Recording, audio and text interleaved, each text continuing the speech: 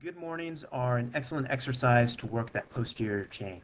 So the lower back, the gluteus maximus, the hamstrings, and we're putting particular emphasis in this exercise on those glutes. We want to initiate and end this exercise with uh, those glutes.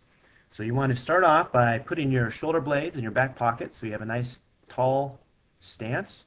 Go ahead and raise your arms up. I find that this helps to keep your back in that flat position and that's going to be key to the proper execution of this exercise. Now we want to hinge from the hips as we bend forward. So we're going to bend forward, hinging from the hips. That means we're going to push the hips backwards push those hips backwards, and we want to keep the back flat as we're hinging forward.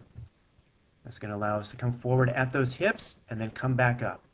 So you want to go forward only as far as you can without breaking that nice hinge hip, that nice form with a flat back.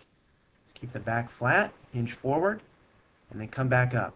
When we finish off, we want to finish with squeezing those glutes so that our pelvis is in a neutral position. So we're standing tall in that neutral position.